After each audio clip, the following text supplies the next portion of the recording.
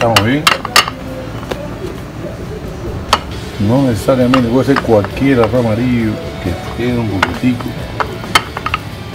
Puede servir. Lo importante es el sabor del arroz. El quesito. Añadimos quesito a la primera capa. Ahí.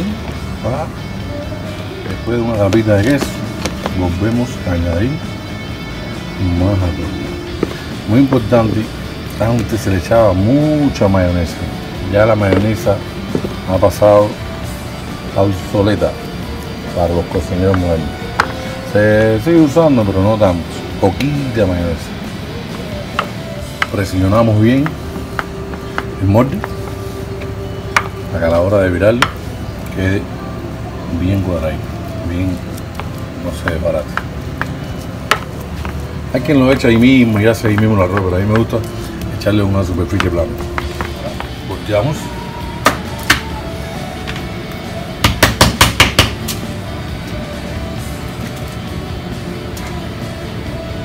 Volteamos el arroz. Bueno, es lo. Ya está puesto donde se quiere. Muy importante, una ligera capita de mayonesa. Ya eso que se echaba mucha mayonesa antes, eso ya está afuera un pelo de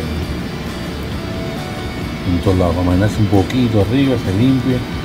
Sin eso se le limpia arriba, que como fuera un pastel.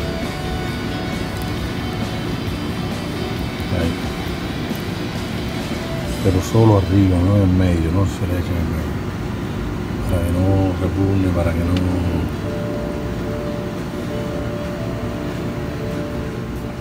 y volvemos a añadirle entonces el queso. Ya puse. Si tiene jamoncito, le este ahora mismo en la casa no tengo. ¿Tú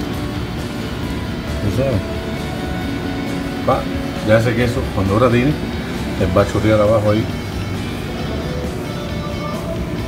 Ahí. Ahora lo ponen en el horno 350 grados por unos 5 minutos.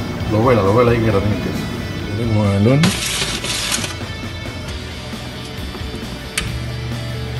Ya unos 200, a partir de 200 ¿no? y lo vas velando ahí que la tiene queso. Y ahí está. El arroz imperial del chef Ramoncito. Sacamos. Ahí está. Oh my god.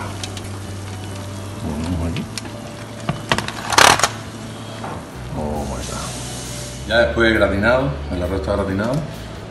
Vienes aquí. Marcas.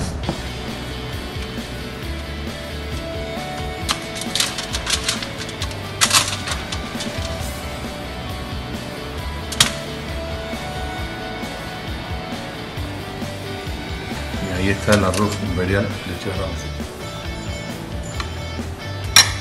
Un platanito muy cubano.